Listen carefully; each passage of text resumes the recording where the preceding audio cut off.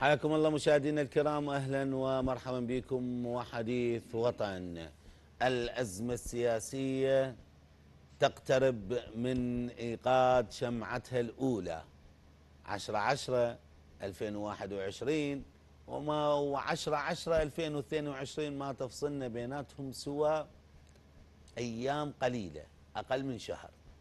وما زال السياسي العراقي المشترك في هذه العملية السياسية والذي لديه كتلة داخل البرلمان لم يشرع إلا قانونين. الأمن الغذائي اللي ما شفنا منه شيء إلى الآن أمن غذائي ودعم طارئ. وهناك أنباء تقول بأنه قد ذهبت أموال الأمن الغذائي. الكتل السياسية هل تعي عنادها راح يخسر العراقيين والخزينة العراقية أكثر من 25 تريليون دينار. ما تفكر بهذا المنصب؟ الكتل السياسية هل تعي بأنه ليست هناك موازنة؟ لا تعي الكتل السياسية ولا تكترث ولا تهتم. المهم المنصب. وبما أنه الموضوع صار كسر عظم وكسر إرادات ولي أذرع فإلى آخر نفس سيقاتل السياسي العراقي المشترك في العملية السياسية ولكن ليس بأولاده. مثل ما قالت تشرشل سنقاتل حتى آخر جندي هندي. ما قال آخر جندي بريطاني. السياسي راح يقاتل الآخر مقرود عراقي. ما يهمه. يموت يجوع يغرق يصيبه مرض كل هذا مو مهم. المهم أنه تبقى الأزمة السياسية لحين ما أجيب كلمتي رأس مالي. هذا باختصار وضعنا السياسي اللي ينعكس على الوضع الاقتصادي والاجتماعي والتربوي والحيوي والصحي والثقافي. ودا تشوفون أنتم شلون البلد بالنازل بالنازل بالنازل. لا رياضة لا صحة لا تعليم ولا مجتمع. عنوان المجتمع اليوم مخدرات وانفلات وطلاق وتعنيف أسري وعمالة أطفال. كل هذا ليش؟ لأن غياب العدالة في توزيع الثروة الوطنية وفي إدارة الدولة. لذلك ما راح نطول عليكم. راح نبقى نبحث أزمتنا السياسية مع ضيوفنا ولكن بعد الفاصل. حياكم الله من جديد مشاهدينا الكرام. أرحب بضيوفي في الاستوديو. الأستاذ مهدي عبد الكريم عضو الحزب الديمقراطي الكردستاني أهلا ومرحبا بك. أهلا وسهلا تحياتي لك وعضو ائتلاف النصر الأستاذ سلام الزويدي أهلا ومرحبا بك. حياكم الله أهلا وسهلا. الله يخليك. ومن الولايات المتحدة الأمريكية الباحث في الشأن السياسي الاستاذ رمضان البدران أهلا ومرحبا بك. أهلا وسهلا بكم وبالضيوف الكرام. تحياتي لك. أبدأ معك أستاذ مهدي. التحالف الثلاثي تفكك هناك من يقول. التحالف الصلد الكونكريتي انتهى. والكرد والسنة ذهبوا بعيدا عن السيد الصدر. شلون ترد على هذه الأقاويل؟ تثبتها تنفيها تحللها تفككها براحتك. تفضل. بسم الله الرحمن الرحيم. بداية تحياتي لجنابك وقناتك ومشاهديك الكرام المحترمين وإلى أخي العزيز أستاذ سلام وأستاذ البدران المحترم. م. كتحالف ثلاثي واقع حال انتهى يعني ما انتهى. إي انتهى يعني ما له وجود وحقيقة هذا الأمر بعد انسحاب سماحة السيد مقتدى الصدر من مجلس النواب وأعضاء ال 74 واللي كان حقيقة أنا وجهة نظري الخاصة كانت من الأخطاء اللي اللي إحنا هم نتحملها. لهذا السبب بالنسبة للتحالف الثلاثي أصبح بالماضي هذا واحد. اثنين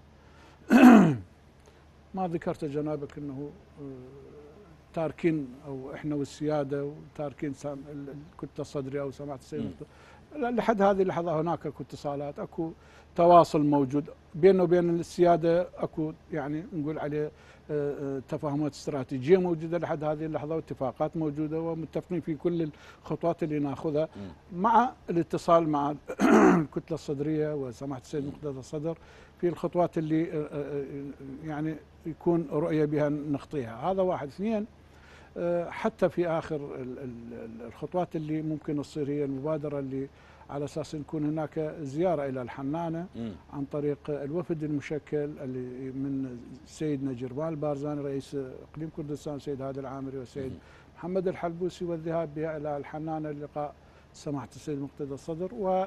والمخرجات اللي أولها كان هو أنه موافقة السيد الصدر على لقاء هذه اللجنة. هي هاي من بوادر خلينا نقول عليها رغم ال ال- ال- ال- نقول النظرة السوداوية اللي موجودة على العملية السياسية بشكل عام.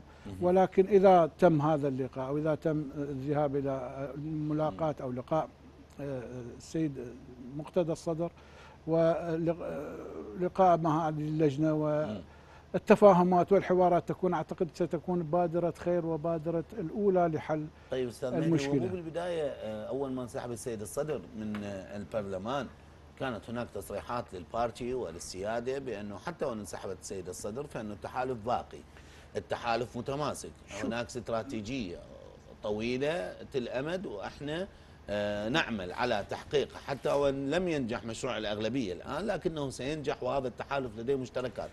اليوم تقول لي آه، التحالف ال- ال- الثلاثي.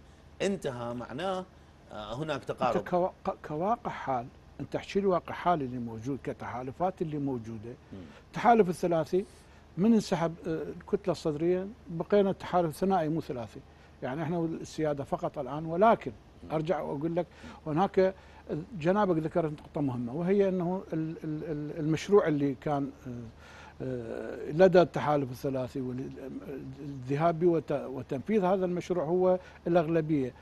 لحد هذه اللحظة أقدر أقول لك أنه إذا مو في هذه ال- ال- ال- ال- الدورة الدورة الثانية ستكون هناك آه، هذا المشروع وضع إلى أساس مم. صار- حجر الأساس هناك صار إلى أساس باعتبار أنه طيب. لا الوضع الحالي ولا المستقبلي يت- يتقبل ويتحمل بعد ال- ال- ال- ال- ال- المشروع أو النظام اللي إحنا آه، ماشيين عليه حتى وإن كانت توافقية باعتبار مطلب شارع كان هو تغيير من نمط العملية السياسية لهذا السبب مستقبلا أنا أقول لك يعني الأغلبية السياسية كلها متوافق عليها ولكن ممكن يكون آه، آه، متفاوت ال- الوقت متفاوت الظروف ال- البيئية اللي تتح- يراد توفر لها. لهذا السبب مستقبلا ممكن حتى بالنسبة لهذا الجانب. الجانب الأخير أنه نحن لحد هذه اللحظة يعني ليش أقول لك أكو تواصل بينه وبين آه، الكتلة الصدرية وسماحة السيد مقتدى الصدر؟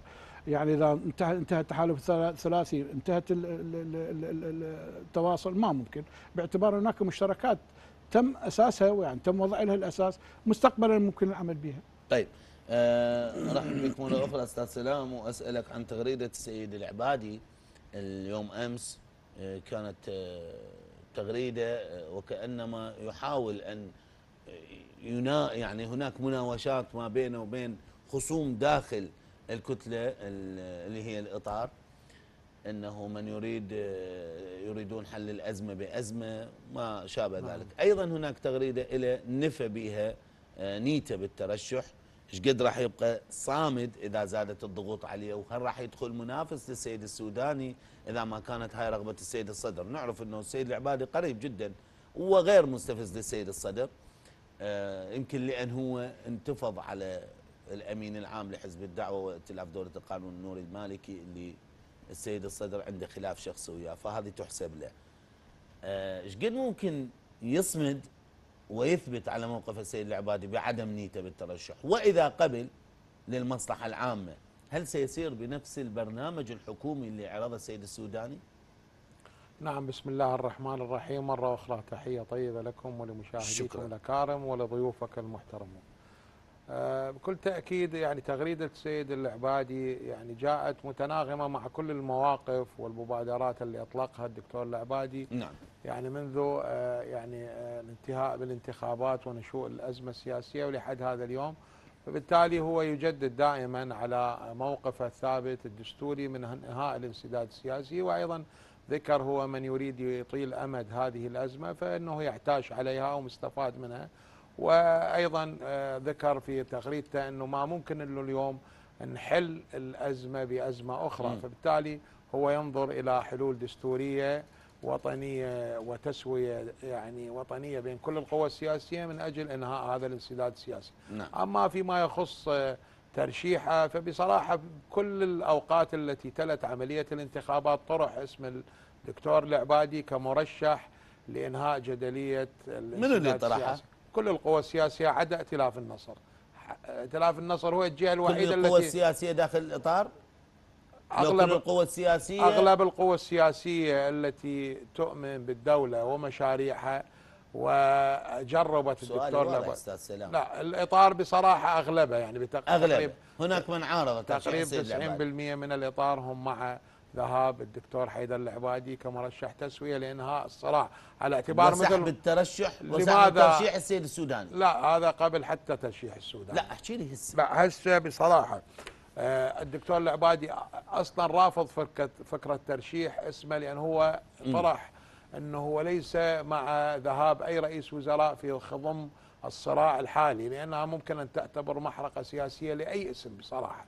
ما لم تكن هناك تسوية وإنهاء للخلافات بين كل الأطراف المختلفة على معادلة الحكم أي رئيس وزراء سي- سيذهب سيدفع اسمه آه، تضحية للعملية السياسية. يحترق اسمه. نعم. وبصراحة الدكتور العبادي لم يعني آه، يرغب حتى. زادت الضغوط عليه. حتى وإن قال السيد حتى. وإن قال السيد هو الصدر صرح لا ارضى برئيس وزراء اطار الا العبادي. صرح الدكتور العبادي إنه جندي في خدمة العراق. إذا كان الدكتور العبادي حل في إنهاء الأزمة السياسية ويحقق رضا لدى كل الأطراف فلن يتأخر بصراحة. حتى وإن احترق اسمه؟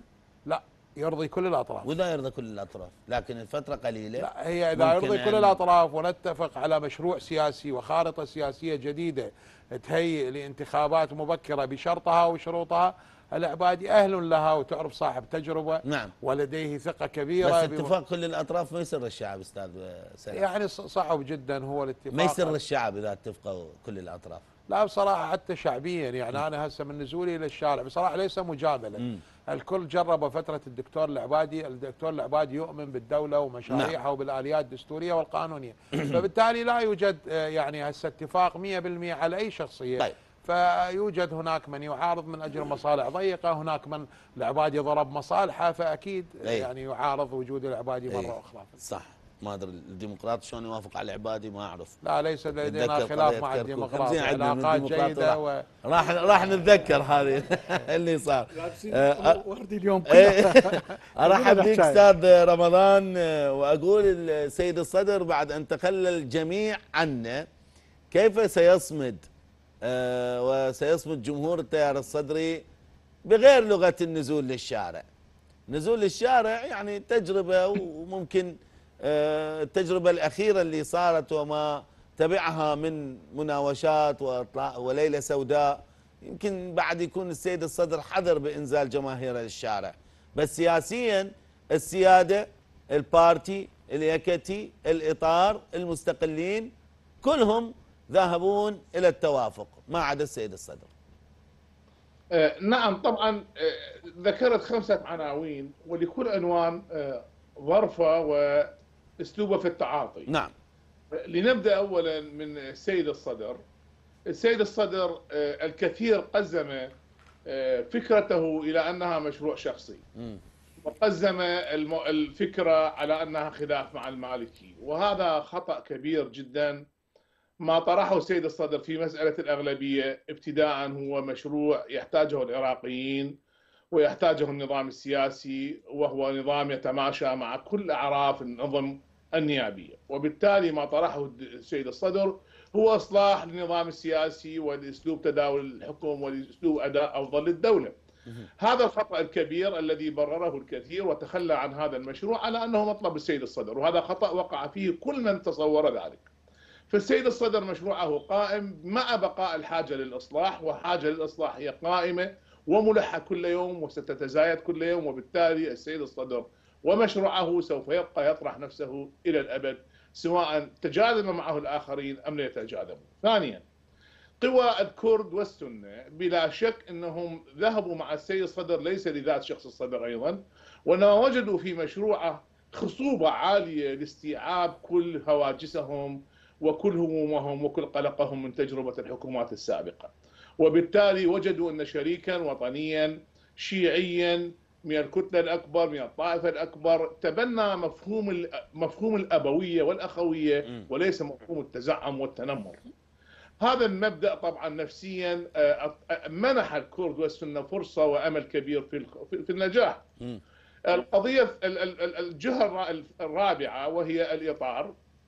الإطار هم طبعا توليفة تشكلت في داخل البرلمان ولم تكن متناغمة أصلا سياسيا قبل الدخول ولا يجمع إلا عنوان المكون. وعندما تناغمت أجبرت على أن تبقى موحدة باستفتاء من الخارج. الوضع اللي الوضع اللي آه، يعني الوضع اللي انحط به الإطار بعد نتائج الانتخابات صار لزاما أن يجتمعوا. يعني بدل ما كانت اجتماع قبل اجتماعات قبل البرلمان تضم كل مكونات وأطياف البيت الشيعي آه، الجميع حصل على يعني أعداد متأخرة ومتدنية من المقاعد فكان لابد أن يشكلوا كتلة. هذا كل ما كان في هدف الاجتماع هذا أو التجمع. طبعا الهدف السياسي هذا الهدف السياسي.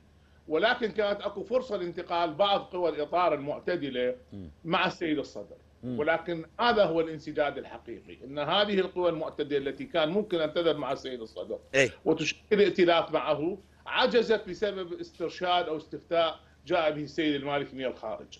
وطبعا هذا أحرجهم جميعا ووضعهم في بودقة مجبرين حتى هذه ليش ما أحرج السيد الصدر إذا كان الاستفتاء من الخارج؟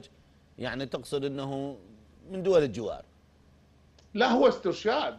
استرشاد. استرشاد, استرشاد بعثوا به للسيد الخامنئي ولم يتفقوا على إرساله ولكن السيد المالكي سربه وجاءت بكلمة لا لا يجوز لأي منكم التفاهم مع أي جهة خارج طيب. الإطار. منفردة طيب أستاذ أستاذ رمضان حتى ما أغادر هاي الجزئية البسيطة وخليك تسترسل ونستفيد من الوقت إذا طيب. كان السيد المالكي أتى باسترشاد من الجمهورية الإسلامية الإيرانية للقوى الشيعية وجعلهم في حرج النصر نعم. الحكمة مع انه مرجعياتهم مختلفة آه نعم. الدينية والسياسية بس نعم. أنا أسأل آه أيضا السيد الحلبوسي والخنجر جابوا استرشاد لانسجامهم داخل البرلمان نعم. وهم كانوا أعداء ويعني آه، نزاعاتهم وصراعاتهم كانت في العلن؟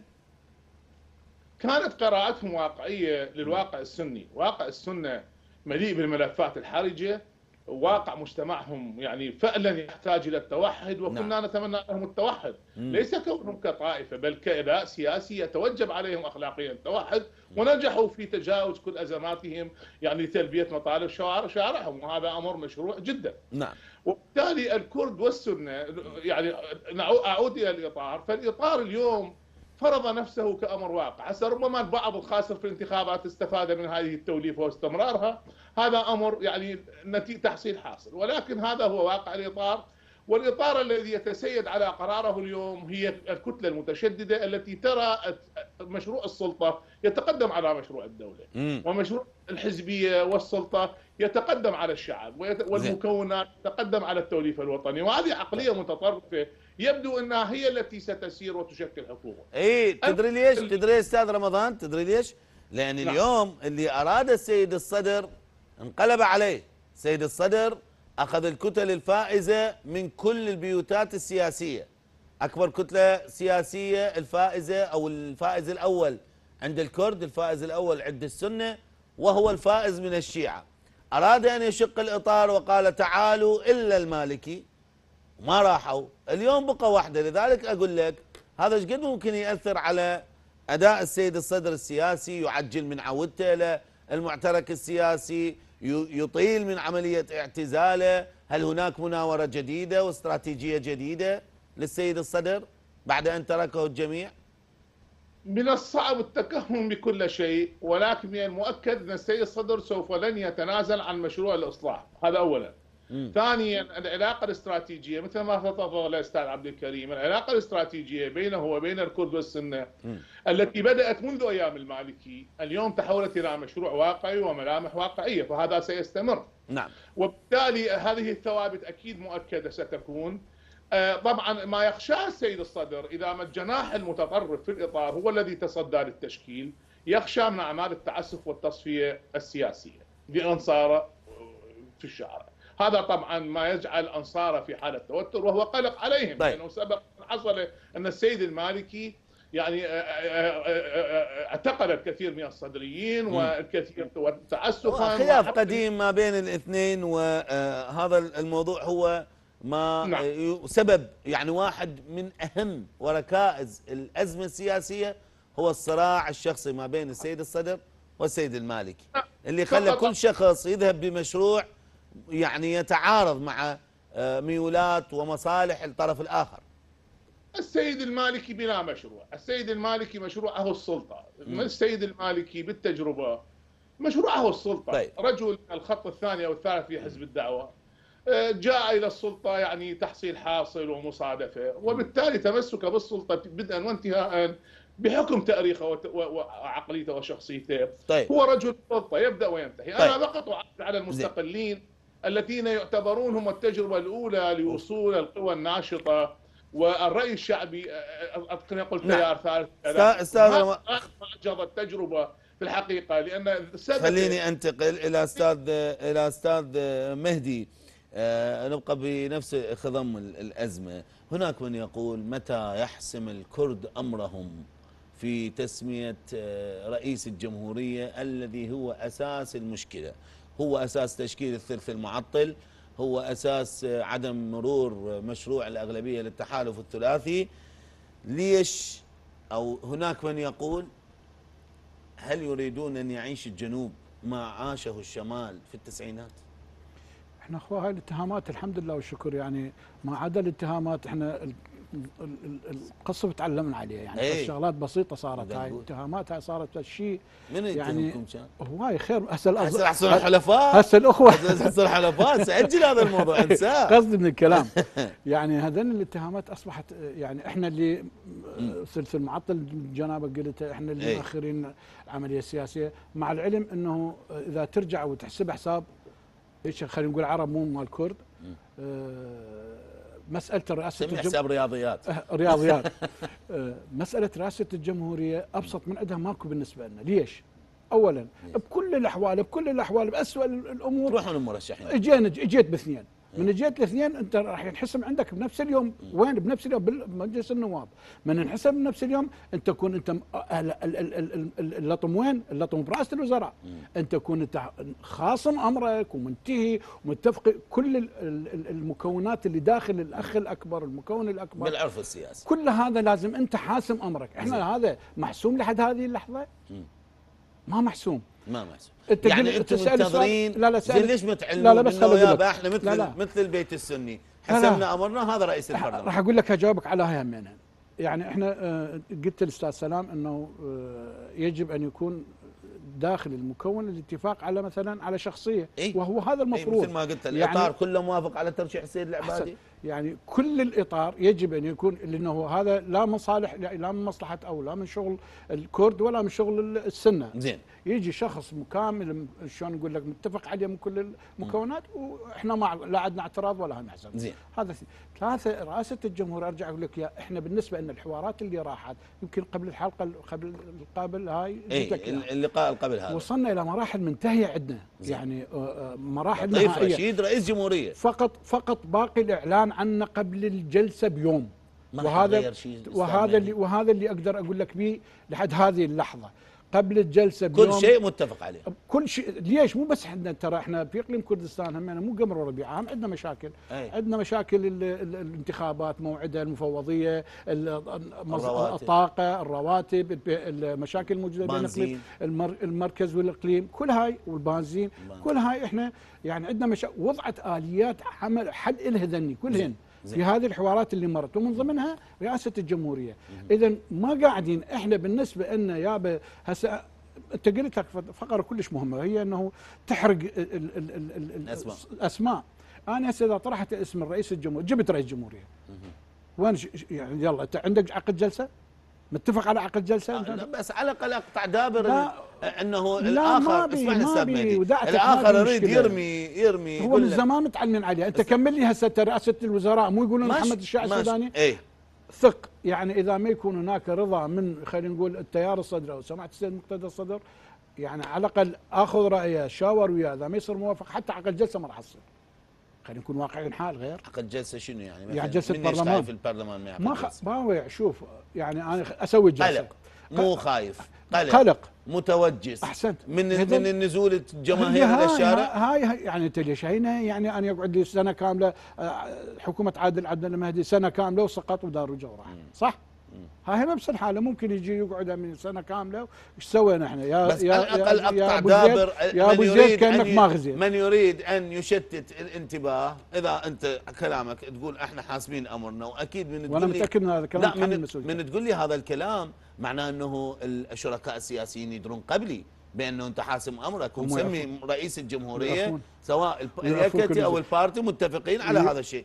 بس على الأقل من يجي واحد يريد يثير بالإعلام يقول لك هو بس المشكلة يمي المشكلة مو يمي أقول لك. مشكلة أساسا ثق. المشكلة الكرد. ثق. لحد هذه اللحظة مع كل حبي واحترامي لكل الكتل السياسية وكل الشخصيات.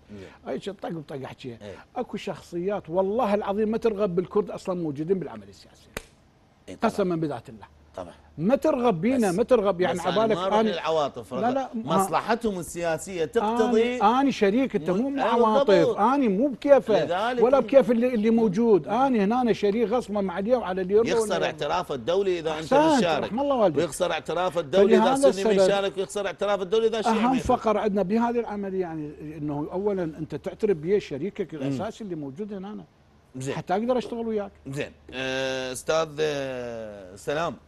هسه أني بصراحة أريد أسأل كم سؤال والوقت يعني لازم أضغط وياك وقبل ما تسأل أنت يجب تحقق العدالة بالوقت بصراحة طبعا يعني طبعا. أنا آسف إذا ما ك... إذا أنت حسيت إنه مغبون فأنا أعتذر بس دا احاول لا اقسم لا الوقت. مع جل احترام زين اولا أسأل أقول. أقول آه، ما هو السقف الزمني الممكن أن يقدمه الإطار لإجراء انتخابات مبكرة أم إذا مجرد ما يمرر آه، السيد السوداني فننسى موضوع الانتخابات المبكره الناس خايفة من هذا الموضوع نعم.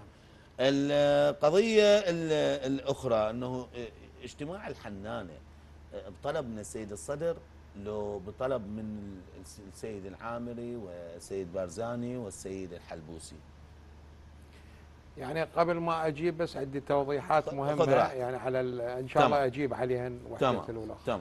اولا يعني إحنا موقفنا بائتلاف النصر لا يهمنا اسم المرشح والأهم هو آه، يعني الاتفاق السياسي على خارطة الطريق صحيحة. ولا يهمنا من سيحكم ولكن يهمنا كيف سيحكم. وهذا حقيقة هو موقفنا. أي شخصية تأتي بغض النظر سوداني أو غيره يجب أن يحمل مشروع ويحقق رضا لدى كل الأطراف ويتفق على خارطة سياسية جديدة. الموضوع الآخر يعني هذه إجابة على آه، أستاذ أو رمضان. توضيح الاستاذ رمضان وجنابك أيضا. وللمرة الخمسين أنا أعيدها. ال- الإطار هو ليس تحالفا أو جبهة سياسية إنما هو هيئة لتنسيق المواقف والإطار ليس وليد اليوم وإنما هو تأسس بالعام 2020 بالشهر العاشر والكتلة الصدرية جزء من الإطار. فبالتالي ليس ظروف الانتخابات. نعم قد جمعتها يوم الواقع معادلة السياسي يقول الانتخابات. كتلة سياسية ولكن هو ليس لا ليس كتلة سياسية. ما يسمى التيار الصدري كتلة اقطاب البيت سياسية. أنا الشيعي جزء من الإطار وأمثل ائتلاف النصر. وبياننا واضح ومعلن. ليست جبهة سياسية. وعلى لساني أخذه ليست جبهة سياسية وليس تحالفا أكو خلاف داخل الاطار هسه؟ لا مو هي طبعا اختلافات اختلاف اختلاف. اختلافات. ليست كل المواقف يرضى عليها مثلا ائتلاف النصر ليس نحن نحن مع كل المواقف التي تطرح بالإطار. لستم مع البيان الأخير؟ كثير من البيانات التي لا تتماشى نعم. مع مشروعنا هو مشروع التسوية الوطنية الحقيقية وإنهاء الانسداد السياسي لن نكون معها ولن نكون جزءا منها وأي خطوة يذهب بها الإطار خطوة استفزازية تصعيدية بدون أن يكون هناك مراعاة للشركاء لن نكون بس جزء الكلام ده منها يكون ضمني أستاذ سلام. يعني هذا مثلا واضح معلن بس يعني. اسمح لي الكلام مثلا أكو بيانات مستفزة مثل ما متفق عليها عند الجميع الشركاء والإعلام والشارع. تصدر من البيان. ما يطلع السيد ال- ما يطلع مثلا السيد العبادي أو المتحدث أو جنابك باسم ائتلاف النصر يقول إحنا براء من هذا البيان. ليش مواقفنا أستاذ ياسر مواقف ضمنية يعني بياناتنا إحنا الجهة يعني الوحيدة اللي تصدر بيانات. في كل الأزمات. وياك صح. أنا بس أقول أكو تغريدة للسيد العبادي يطلع مثلا يتحدث بشكل عام ولازم أنا أجي أفسر وأول الكلام وأقول إيه، إنه ليس. مع الإطار. المرحلة صعبة ومعقدة وحرجة. إيه، قل لي هاي فبالتالي الأعباء. ما ممكن إنه اليوم إحنا ندخل في مماحكات وصراعات ونزيد فتيل الأزمة ونعيد طيب. نطيل أمدها، لذلك إحنا نشوفنا بالخط الوسطي من أجل إنهاء هذا الصراع السياسي. زين سيد العب... سيد. آه، الإطار بس اليوم بس عندي؟ ملاحظة إيه. أيضا على التحالف الثلاثي اللي ذكرته بالبداية، التحالف الثلاثي آه، بصراحة هو منتهى لكن هو بمرتكزات دستورية على اعتبار إن الكتلة الصدرية بما أنه انسحبت من مجلس النواب ففعليا وعمليا انتهى التحالف الثلاثي لكن آه، روحيا موجود التحالف الثلاثي. آه. هناك تقارب كبير جدا بين السيادة وبين المكون الكردي والتيار الصدري. حقيقة هذه تفاهمات موجودة وأكو تناغم كبير بيناتهم. نعم عمليا انتهى لكن هو على الأرض موجود تقارب صراحة. يعني هاي حبيت أنا اوضحها أما يعني عودة لسؤالك حول السقف الزمني السقف الزمني. لإجراء انتخابات انتخابات ونص. صراحة إحنا اللي بادرنا إذا تتذكر إيه. عندنا مبادرة في 22 حزيران. قلنا يجب أن تكون المرحلة القادمة مرحلة انتقالية تهيئ الانتخابات مبكرة ذات ثقوب زمنية إيه. يتفق عليها كل الأطراف. إن سؤال. بصراحة سنة أو أكثر بي أو أكثر سنة وثلاث أشهر لو سنة ونص. بصراحة يعني أنا أعتقد أنه لا يستطيع أي رئيس وزراء أو أي حكومة قادمة أقل من سنة أن على الأقل تجري تعديلات على جوهر النظام السياسي أو على بنية النظام أو تجري تج يعني تعديلات جوهرية في حتى ما آه، أظلمك بالوقت راح أسألك سؤال هذا بداخلي إيه. لو كان السيد العبادي هو الأول بالانتخابات لو كان السيد العبادي. أو السيد علاوي إيه. اياد علاوي هو الأول بالانتخابات لرأينا هذا الحجيج إلى الحنانة ها- لكي لا نشكل حكومة إلا برضاء السيد الصدر. أم لأنه السيد الصدر يمتلك قاعدة جماهيرية. هذه القاعدة الجماهيرية مطيعة جدا منضبطة وبنفس الوقت هي يعني من المدن الفقيرة المسحوقة وعصبية. لا بصراحة شوف السيد الصدر لا يجامل. سيد الصدر يقرأ الواقع السياسي جيدا. نعم قد تكون هناك خلافات شخصية أثر اتفق وياك. ولكن بالمجمل العام يعني تعرف في وقت حكومة الدكتور العبادي تظاهرات عارمة حتى أكبر من هذه التظاهر كيف تعامل ويا الدكتور العبادي؟ فهذا السيد الصدر ينظر إلى الأداء السياسي. فبصراحة لو كان يعني آه، النصر هو المرشح الأول بالانتخابات. أيضا ما راح يظلم شركائه. النصر يؤمن ما بالشراكة. يؤمن بالشراكة والتوافق. يؤمن بشراكه ولكن بطرق دستورية ليست توافقية على حساب تقطيع كل الكعكة. دستوري هو بده يصير. لا تقطيع الكعكة يختلف عن بناء دولة ذات أسس تعتمد على الكفاءة والنزاهة والآليات الدستورية. يعني حتى الأخوة في يعني الديمقراطي صحيح هم بالبداية زعلوا على الدكتور العبادي لكن بعد مرور الزمن أثبت أن الدكتور العبادي كان في صالح ال- المكون الكردي أو الحزب الديمقراطي. على اعتبار كان. يسعى لمشروع الدولة ويريد حقوق يطالب حقوق الشعب الكردي. ما راح هو حقيقة بدون آليات دستورية. مجرد طبق القانون في محافظة كركوك بدون أن يطلق طلقة واحدة وطالب بالمستحقات الدستورية المالية طيب. للإقليم. وهذه حقيقة ما يختلف عليها أحد. هسه آه، أنتقل أستاذ رمضان حتى هذا المحور آه، أناقشه بشكل أيضا سريع. ولو هو السيد الكاظمي يمكم ديروا بالكم عليه زين آه، اولا هو يعني رئيس وزراء العراق صح هو المفروض يروح رئيس الجمهورية في اجتماع الجمعية العمومية والعامة للأمم المتحدة. راح السيد الكاظمي. هناك من يقول ذهب لكي يعطي موقف للولايات المتحدة عن ما يدور في العراق وهناك من يقول بأنه ذهب ليستجمع قواه ويحصل على ضوء أخضر لبقائه. أه وين أروح؟ أنا بياسين السيد الكاظمي من راح يرجع. راح يرجع قوي. لو راح يرجع يسلم السلطة لو عنده استراتيجية جديدة. أنا يعني أشك في كلا الحالتين. ال- الموقف العراقي أعتقد شرحها الوزير الخارجية إلى ماكورغ. وماكورغ يعني متابع للشأن العراقي. وبالتالي أمريكا تعرف الوضع العراقي بأدق تفاصيله وتراقبه من قبل الانتخابات منذ تشرين. فالوضع العراقي معروف، أما وضع السيد الكاظمي اشكاليه السيد الكاظمي ليس بدعم الخارج ام عدمه، وليس يعني المشكلة في أدائه هو كشخص، الرجل الكاظمي يعني شغل المنصب آه، ولكنه لم يقود الدولة ولم يقود الحكومة، يعني كان دوره دبلوماسيا اداريا بس ولكن لم يكن دور فعلا قائد سياسي له.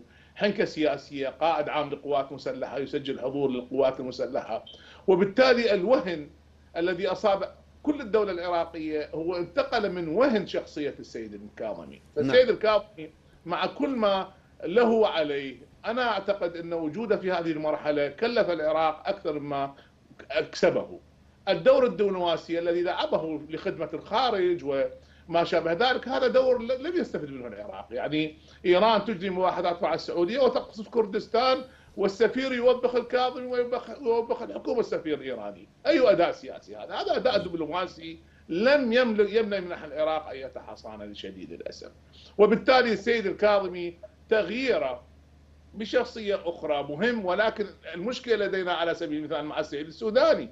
انه اذا غيرت إلى السيد السوداني هو نفس الشخصية تقريبا. سيكون والفارق ان الكاظمي لم يوجهه احد لكن السيد السوداني بنفس الضعف سوف يكون موجه سيد السوداني ضعيف؟ أكيد. السيد السوداني شخصية رائعة وخوش شخصية بس شخصية ضعيفة وشخصية طبعا ستقاد وسوف يعني على- ضعيفة. أستاذ رمضان أنا بس في سبيل أنه يعني مفكك بس الأمور لا مع السوداني ولا ضد السوداني. بس لا أنا أكيد. أقول أقول شخصية ضعيفة ملفة بالنسبة للنزاهة جيد.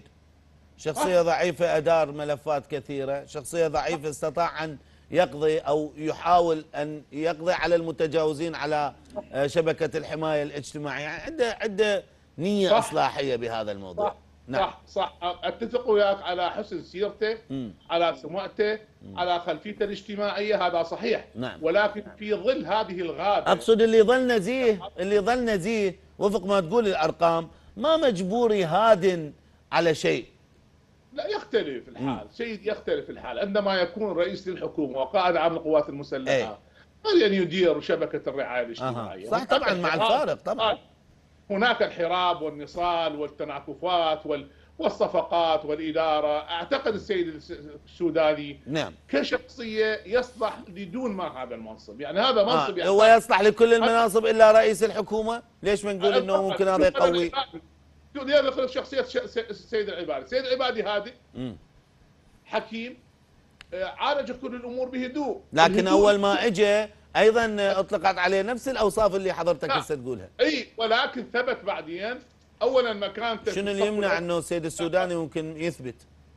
لا اسمح لي مكان شو الخلفية التاريخية مهمة. أها. مكانة السيد العبادي كانت متقدمة في الدعوة خط أول مو مثل المالكي مو مثل غيره. فكان عنده كلمة ثابتة قبل لا يصير التغيير من أي زين. معارضة خلفيته الثقافية والمجتمعية وتربيته ونشأته في الكرادة من حتى رؤية مدنية ورؤية دولة أستاذ أكثر. رمضان أنا وقتي حرج. السيد الكاظمي راح يرجع من أمريكا للعراق. قوي؟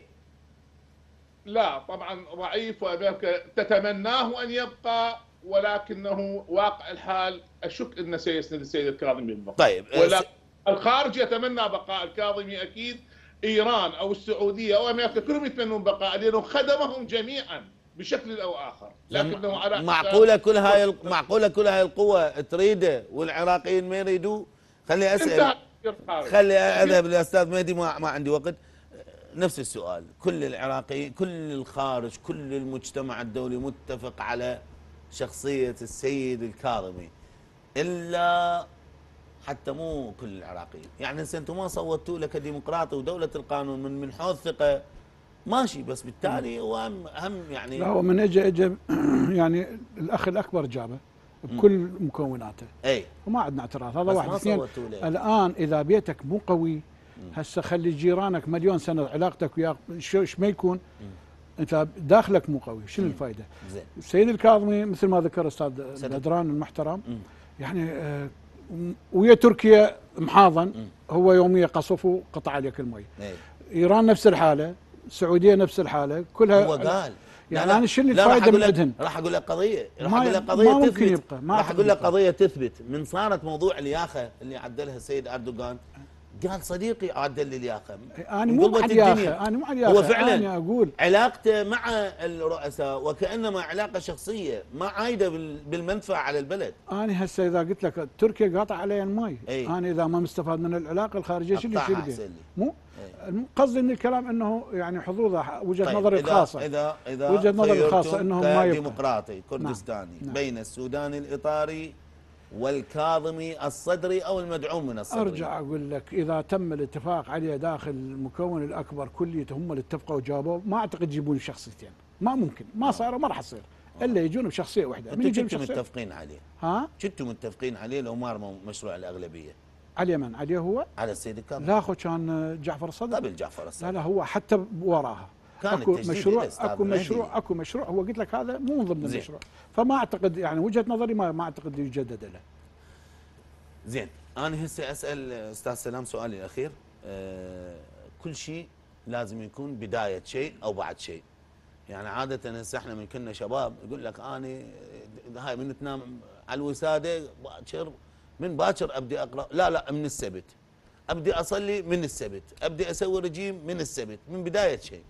هسه كل ما هاي يقول لك بداية الشهر المقبل راح يصير اجتماع الحنانة. بعد الأربعين راح تكون لازم بعد شيء بعد مناسبة. نعم. إحنا فعلا بهالنفاهة وهالإسترخاء آه، ترى عالم دا تموت. كتل السياسية ترى آه، الشعب يصبر يصبر يصبر. إذا انفجر ما تلحق حتى تر- تروح للمطار. أستاذ سلام. لا وبصراحة إحنا مقبلين أمام آه، يعني آه، ذكرى تظاهرة تشرين يعني بداية الشهر العاشر عام دراسي جديد. وهذه حقيقة يعني يجب الجميع أن ينتبه لخطورتها. هسه البعض يقول هسه ما اريد تثير الموضوع لأن لا البعض كان بصراحة هذا. موضوع خطير. لذلك أنا أقول هي المسألة تضامنية. ما محصورة فقط بالإطار والتيار. الكل أمام إنهاء هذه الجدلية. وأنا حقيقة في ائتلاف النصر حصرناها في مرحلتين. المرحلة الأولى هو أن تكون مرحلة آنية لإنهاء الانسداد السياسي وترحيل كل الملفات الكبرى. والمرحلة الثانية تكون مرحلة استراتيجية لإعداد خاطر خارطة طريق لإجراء انتخابات مبكرة وحل البرلمان وهذه الحالة الوحيدة اللي تعيد الثقة للعملية السياسية وشرعية للعم... للعملية السياسية الديمقراطية وأيضا تعيد ثقة الشارع بالعملية السياسية ولكن الجميع مختلف عن ال... على ممكن الآليات تعاد الثقة من الشارع نعم إذا؟ شيء ملموس عندما تأتيك حكومة وتقدم لك خدمات وموازنة. لا لا أستاذ أياس خلينا نكون واضحين. الشارع شيء يريد أبسط حقوقه يريد خدمات فرص عمل يريد آه، شيء ملموس على واقع الأرض يريد رئيس وزراء عادل إيه. يكون أبوي لكل الجهات عابر للأثنية والطائفية عندما يجد. ممكن يؤمن برئيس وزراء ممكن يؤمن بشخصية لكن بعملية سياسية ومنظومة حكم تقودها هاي الأحزاب اللي صار لها 19 سنة. وإذا ما تصير خارطة انتهت الطريق- المصداقية نعم، وانقطع جسر الثقة أنا ما بين. الشعب وما بين ال أنا أتفق وياك بس عندما تأتي شخصية قوية قادرة على إدارة الأزمة. إيه. وتعطيها دعم جماهيري وهذه تشتغل زين. بشكل صحيح. أنا أتوقع إنه هذه الحكومة يحتاج لها فترة زمنية تأسس لمرحليه طبعا. مستقبلية طبعا. تبني دولة أستاذ حقيقية. أستاذ رمضان دقيقة للختام. آه، قل لي آه، إيش قد ممكن تأثر آه، ذكرى تشرين آه، على العملية السياسية؟ مطالبهم نفس المطالب ويؤكدون على الحل الجذري أو الإزاحة إزاحة منظومة الحكم كلها.